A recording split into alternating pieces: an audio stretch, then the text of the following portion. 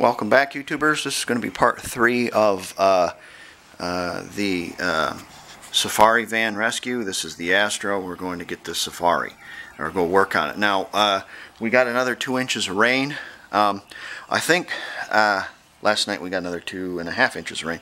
Uh, so um, I'm going to be able to drive out on this guy's driveway, but I'm going to have to hump all my stuff back there uh, I have it pulled back to his uh, barn where there's electricity, uh, where this, now I think about it, better get this too, uh, the, the, the kind of electricity that this likes, because it doesn't like my generator. All right, uh, we're going to go out there and of course uh, the magic pixies are going to come and, and, and do this to you. Okay, they're going to throw a wrench in every kind of, every kind of, uh, in, in, you know, in every orifice. So we have to prepare ourselves like good Boy Scouts. Okay, so even if you prepare yourself, you're still going to get the magic pixies. Uh, eh, but you can you can tolerate them and you can work around the magic pixies if you have enough uh, preparation. Preparation is key to everything. Um, so we have this battery that I'm going to use and the reason why I'm going to use this battery is because I know how it sits in the vehicle. Uh, you can't have the posts back here. Uh, it's it's one of General Motors' fantastic design of uh, side post batteries, uh, something no one ever asked for, but they gave it to us anyways. Uh, so um, uh, the side posts are supposed to be here and here okay? So the ground is over here close to the body and whatnot and the and the positive is over here. So at least we have a positive terminal here and negative terminal here. Uh, I could use this battery but it's it's completely uh, bass backwards. Uh, this is uh, a Japanese battery and uh, this one came out of a I think a German car or a Volvo something like that. So a little different, of course. Uh, the jammer cars are all backwards. Uh, so anyways, okay, I have these, right? Uh, this one I can probably run off the side and actually clear, but if you uh, turn it to the front like this, you can see it's it's going to be rubbing on here. And what you're going to do is you're going to tighten this up, and th since this is made out of uh, uh, sugar and water, it'll just strip. Okay, so we, we have to do it to the side, and you have to be very careful with these terminals. I know, I know. So I got another one. I brought another one just in case. Uh, I have a friend of mine who goes out and strips cars for uh, wire out of the salvage yard. Uh, and he goes to the Cats and Jammer cars because those are the best ones because the Cats and Jammer cars all have the uh, batteries in the trunk. So they have these enormous long lines uh, going from the trunk uh, to the uh, to the starter motor, which is which, which is it's it's wise. You know, why wouldn't you want to run uh, you know thirty dollars worth of copper from the from your trunk all the way to the back when you could do it from the front? Yeah, yeah. Just, I'm telling you, Japanese is the way to go. Uh, so anyways, uh, enough about that. Uh, I made myself a, uh, a little deal here. What I did is I just took a couple of 8 by 125 nuts, welded them on a uh, on a 125 stud, put it in there, bolted it, uh, and I also put some extra nuts underneath there to make it make it even more stout. Uh, and then I have a stack of washers there for what trickery the uh, the magic pixies might send my way, uh, just in case. Got to be prepared, you know. Okay, so let's get everything on the van and. Uh, next video will be out there. You've traveled out there already, so I know where it's at, you know where it's at, so we don't need to video it. Uh, here's uh, our final final near. And uh, my, aren't you just a show dog? Look at that. That's a beauty right there. Okay, we're going to put it in the mag uh, in the plastic bag so the magic pixies can't scratch it. And uh, and uh, plastic plastic seals out any magic pixies. All right, let's let's load up the Astro and let's get going. All right, we're at the van, um, and uh, the uh, grinder ground just enough, and then it smoked. In fact, it got so hot, I had to dunk it in a bucket of water. So it's done, but it did serve our purpose. There is what I'm looking for. Now, let me explain something to you. My 95, and I believe it to be 95 and up, 95 to 2005. The fuel pump cutout is in this area because this is where I pulled up the carpet and I looked in my van and this is where I started cutting here. And what I come uh, into is a bunch of bracing and stuff and I managed to get it pried up a little bit to see the gas tank which goes about about to here that there is no that there. So listen carefully. This is for a 94 and older. 94 this is a 94 and older TBI throttle body injected model. It is not for the multi-port the multi-port is a different, uh, has a different location for the fuel tank.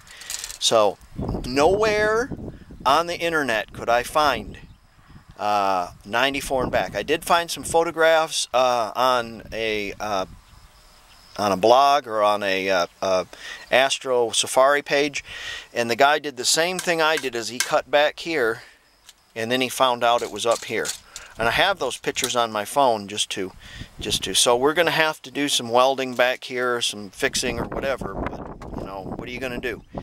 Uh, I am not dropping this tank because the pain in the ass uh, uh, amount it would be it's just ridiculously incredible. Yeah don't want to climb underneath it. Here's our here is our lines. You have to be very careful uh, not to cut too deep because there's not a lot of room there, about a quarter of an inch, so don't cut too deep when you cut there. Now I'm going to give you the gospel on where this is at. Okay, so if you've got a 94 fuel pump and you want to cut it out, that's what I'm going to put in my uh, in my uh, information is 94 Astro GMC and back where the location is and I'll tell you where it's at okay there's the wheel well right okay and there's the uh, fuel tank door right there, the little bump for it, okay? It is directly, directly in the center. Directly in the center of these two. And it is exactly 21, nope, 25 inches. Exactly, center is 25 from your carpet right there. All bets off if you've got a, a van that doesn't have carpet in it, I'd probably add, you know, three inches because this is going to go back about three inches to the actual wall of the van. So if you have just a cargo van that doesn't have carpet in it, I'd probably add three inches to that probably. So I'd go 28 if you have a cargo van, 25 if you have a carpeted van. Okay, and it's directly in the center, 94 and back. There you go. See, now if I would have been able to look online and found that information, and I couldn't, because everybody has 95 and up, 95 and up, 95 and up. And that's where I got the information for my other one. And that's why I cut right there. So, lesson learned, okay? This is a different body style than the 95. It truly is. And they have a different placement of the gas tank. So, yeah, because they have a different fuel injection system. There you go. Now you know, and now I know. Let's get that out of there. All right, there's several ways you can tell if your fuel pump is turning or if it's bad and I want to show you how to do it. Now this is for a 94 and it's for TBI model. All bets off on the rest of them okay this has a key switch and when you turn the key switch on two seconds it will give power to the gray wire back here see that gray wire the gray wire is a power wire black wire is ground. Those other two, the purple one and the other one next to it, those are your fuel tank. Excuse me, fuel gauge. Um,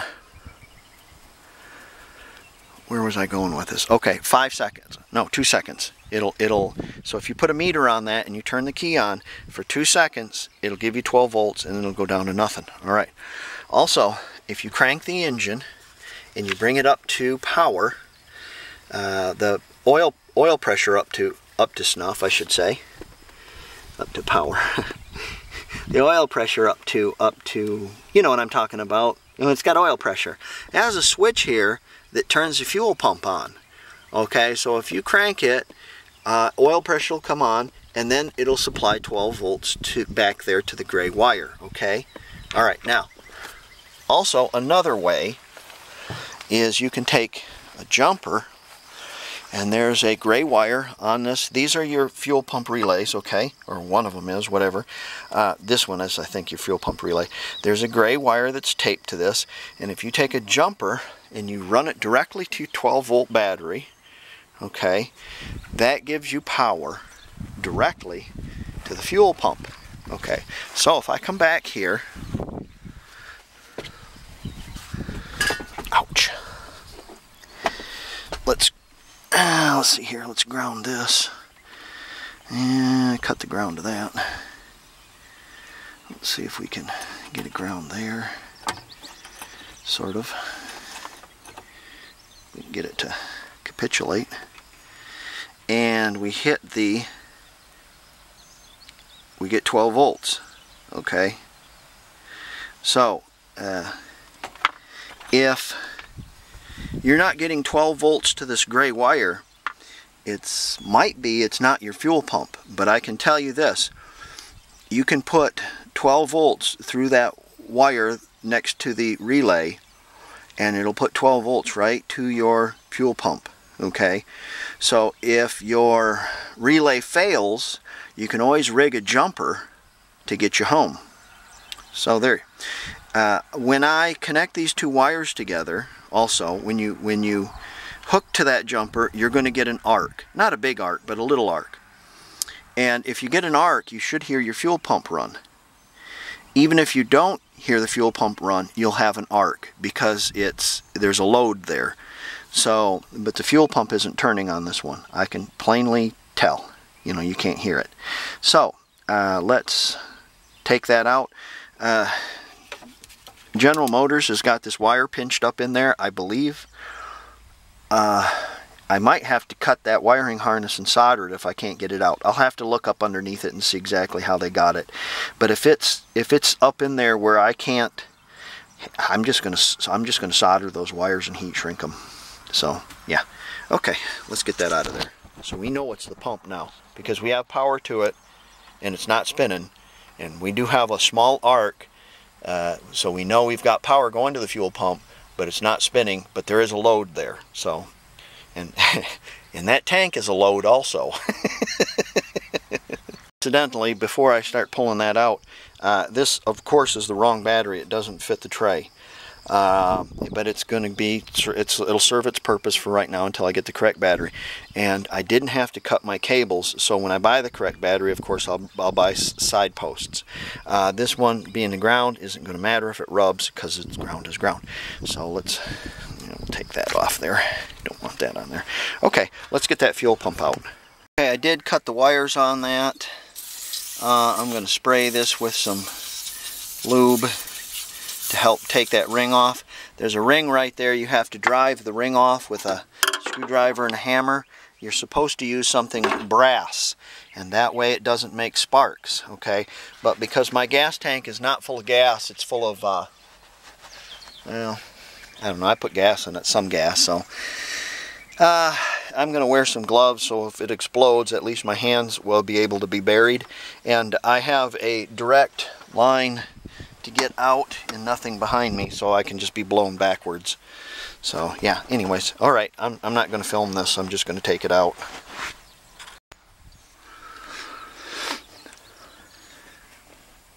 Um, I'm using a siphon hose to dump out that gas. Um, there's uh, quite a bit in there. Um, so we'll have a look at that. I'm glad I mixed it with some old boat gas I had and shook it up uh, because it would probably be particularly stinky and uh, terrible. But it's really, it's not, it's terrible, but it's not like, it's not like, yeah, it used, it acted as a solvent kind of and it helped to uh, uh, kind of uh, clean that out a little bit, shaking it up and stuff. So let's get that out and get that dumped. And uh, in the meantime, I'm going to climb under the other side and see where that wiring harness goes. That's a good idea.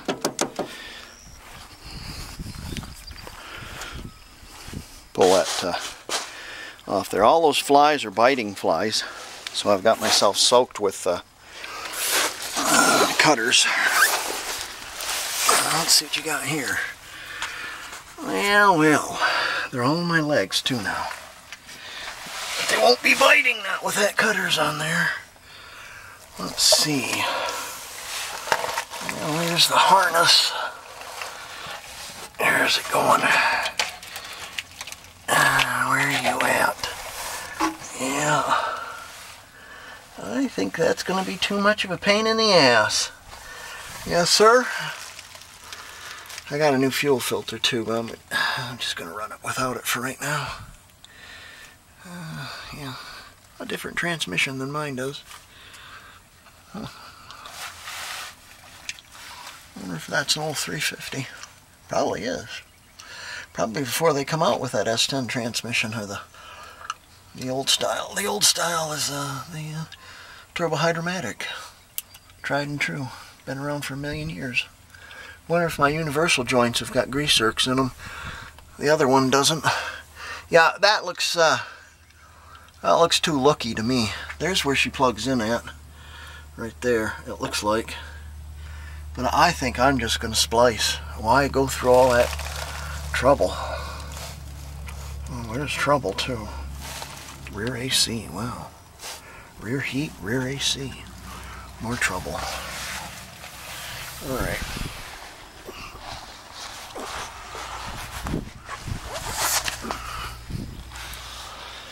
Okay. Even if the pump would have run, it would have delivered no fuel. Because these are just rotten. They're just they're just mush. They just, you know, the, the yeah, no fuel. So uh, let's have a look at our let's have a look at our lines. Uh, this is our return line, the smaller one. The bigger one next to it is our fuel pump delivery line.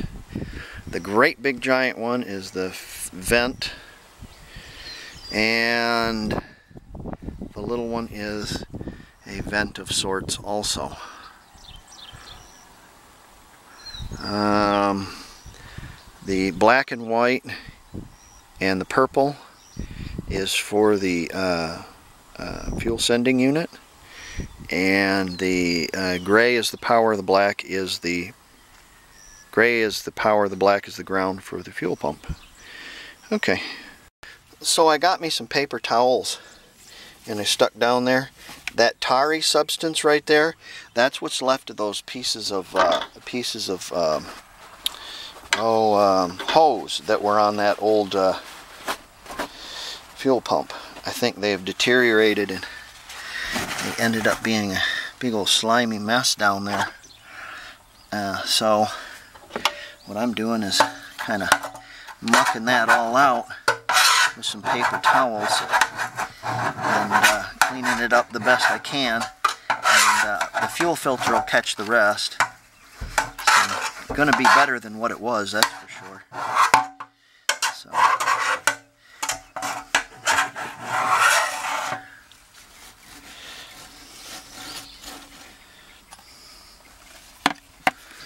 Okay.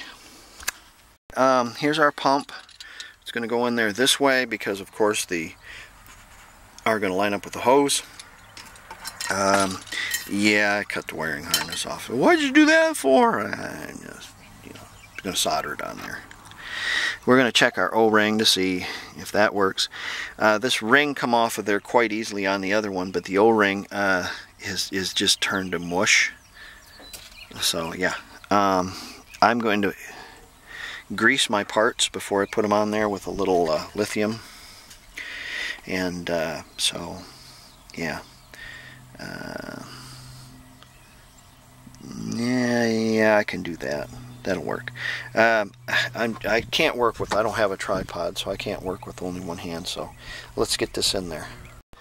The best I could do is I uh, soldered and heat shrunk one. The other ones had to get wrapped with tape because I didn't have any larger heat shrink than I did, so I'll have to bring some heat shrink out next time and solder those proper. But for right now, that'll be fine.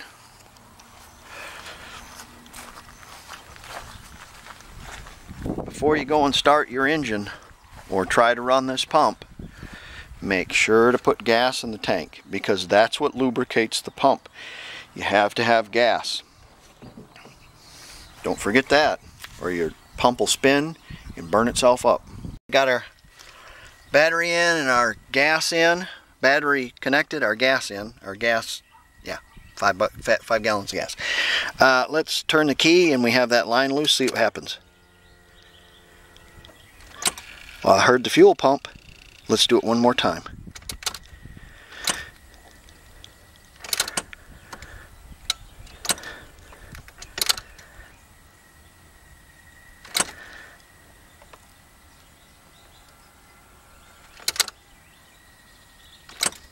Okay, I heard the fuel pump, so let's, and I heard this kind of hiss, so let's uh, tighten this up and see what happens. What say?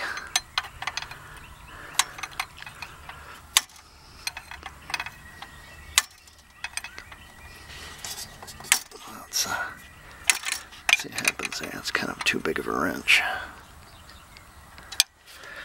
Let's uh, give it a crank and see what happens here.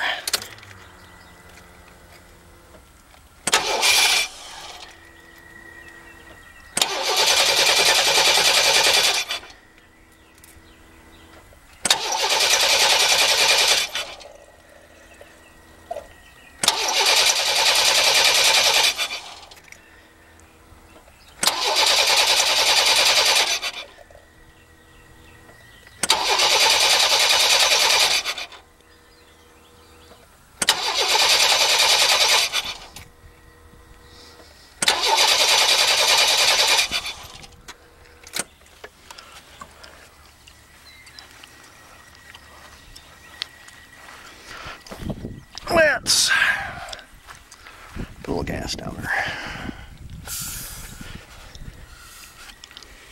Hmm. Try to do this one-handed. And I can't. There we go. There you go. Two-stroke mix. Throw a little of that down there.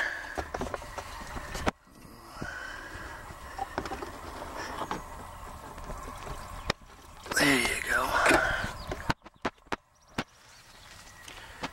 Well, see what happens now.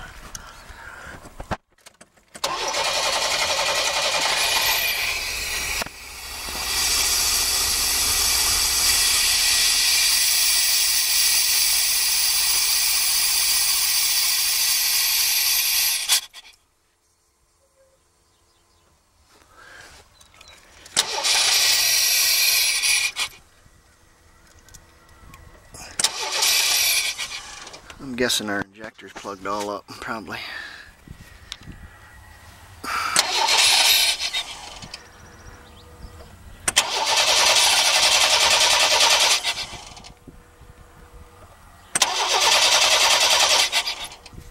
Alright, let's let's crack this line, see what happens here.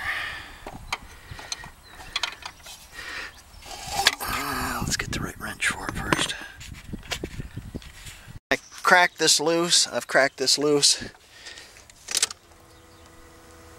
And I'm, I'm not getting anything to, to it. There's no fuel going to that. To that. Uh, so the next thing I'm going to catch is my fuel filter. So let's climb under the van and change the fuel filter. I don't know if you want to come with me. I might just do this by myself. Okay, uh, I am getting fuel up to here. Uh, it, when I loosened it, the, the line was stuck in there so tight. I pulled it back and, line, and squirted out of there. Sometimes your injectors get stuck. So let's see what happens here. Let's see if we can... Because I'm not seeing any spray coming out of them. Oh, I am now. I am now. I am now. there she is. Okay. There she is. Spraying. Alright, let's check our vitals. Now that the engine's running.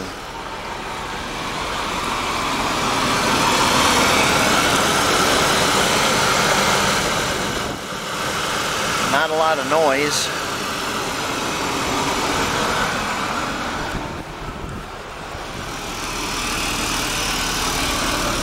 Uh, a little less than a quarter of a tank, eighth of a tank. Uh, we're charging and uh, we have oil pressure. there you go. There you go.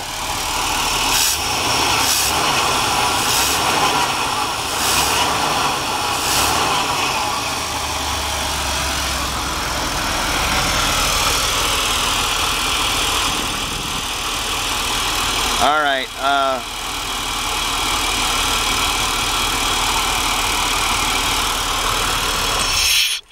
I'm gonna put it back together. Um, these plug wires look very, they're chewed all up too. Well, we'll see. That might get me home. Oh, okay. Let's put this back together. So, our injectors were stuck, knocked on the side of them, and they uh, and they, they they came online. So there you go. That's good. That's good. All right, uh, I'm going to put this together, and uh, we'll see if it moves. Well, it moves, and uh, what I'm doing right now is uh, bleeding the brakes. Um, uh, you know, it, it moves. That's great. Well, it's got stopped too. You know.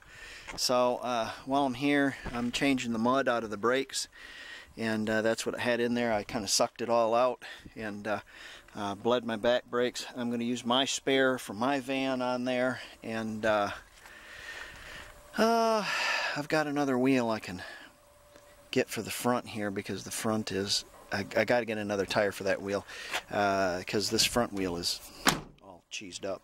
Before I can drive it home, I have to have four reasonable tires on it. Uh, so I'm going to finish bleeding my brakes, pull my spare out, uh, lock it up, and then see if I can't find, and not lock it up, but you know, roll the windows up and such. See if I can't find another tire to get on there. Uh, maybe he has one, and I can uh, I can swap it out and put that on there, drive it home. But uh, it runs and drives, folks. 70 bucks. Well, wait a minute. What did I spend on the uh, the fuel pump? The fuel pump, three filters, and an air filter for this. I bought three, or no, four, four oil filters, uh, and a fuel filter because I've got two of these. You know, you buy them so, you know, they're like a buck and a half a piece, so why not?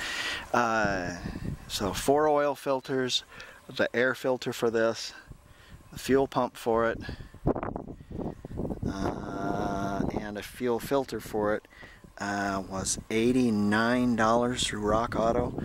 So 90 so far I have uh, $70 for the van. I traded them for windshield, the windshield molding and the glue, and I did the labor, 70 bucks for the van, $90 for parts. So far I have a uh, um, $160 in this. Not too bad, huh?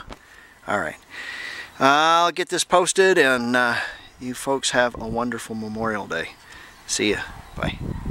Uh, I should say, um, you know, you can say Merry Christmas and Happy Easter and Happy Labor Day and Happy Memorial Day. Uh, but just saying those words, uh, remember all uh, the great things you have in this country, uh, your freedom of speech, uh, your freedom to say anything on the news uh, derogatory about the president, whether he be Democrat or Republican or whatever uh, your freedom of speech, your uh, Second Amendment right to keep and bear arms. All these uh, freedom of religion, uh, all these uh, constitutional rights we have, uh, that piece of paper uh, is protected by uh, our, well, by our citizens, yeah, but it's also protected from, you know, kings and potentates and, and dictators by our U.S. military. kudos to our U.S. military and to those who have served. thank you, my brother, Brian, for your service uh, to our country. Um, and memorialize those uh, heroes that didn't make it home. So there you go. That's what Memorial Day is about, memorializing the heroes. Don't ever forget that. And uh, don't forget they're the reason why you have uh, what you have. All right, have a good one, folks. See you later.